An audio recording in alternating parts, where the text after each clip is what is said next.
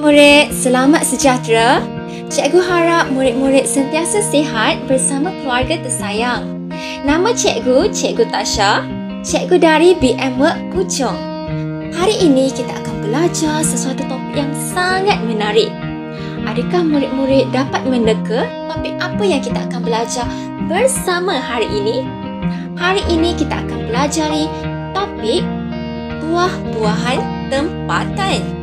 Adakah murid-murid tahu apa itu buah-buahan tempatan?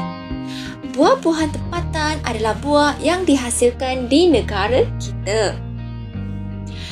Jadi, cikgu akan mengajar murid-murid beberapa buah-buahan tempatan yang ada di negara Malaysia. Adakah murid-murid sudah bersedia? Kalau sudah, mari kita belajar bersama-sama. Kita tengok buah yang pertama. Buah yang pertama adalah betik. Cikgu mahu murid-murid ikut cikgu. Cara sebutan yang betul. Boleh murid-murid ikut cikgu? Betik. Bagus. Kita tengok buah yang kedua. Nanas. Na nas. Buah yang ketiga, manggis. Manggis. Bagus. Seterusnya. Kelapa. Kelapa.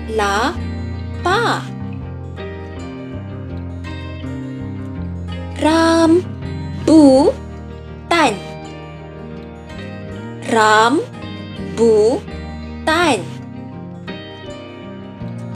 Dan yang terakhir, pisang. Pisang. Bagus murid-murid. Mari kita ulang kaji semula buah-buahan tempatan yang telah kita belajar sebentar tadi. Gambar yang pertama Adakah murid-murid masih ingat ini buah apa? Apakah buah ini? Ini buah betik. Betik. Kita tengok di sebelah kanan. Apakah buah ini? Warna merah. Ini buah apa? Rambutan. Rambutan rambutan. Bagus. Seterusnya.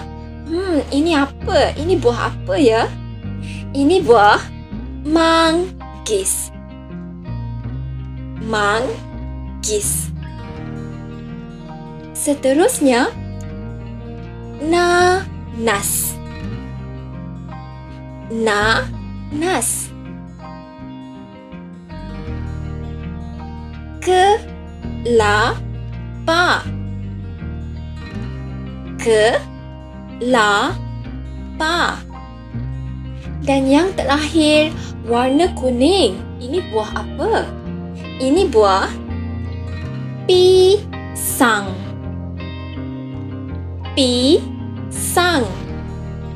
Sangat bagus murid-murid.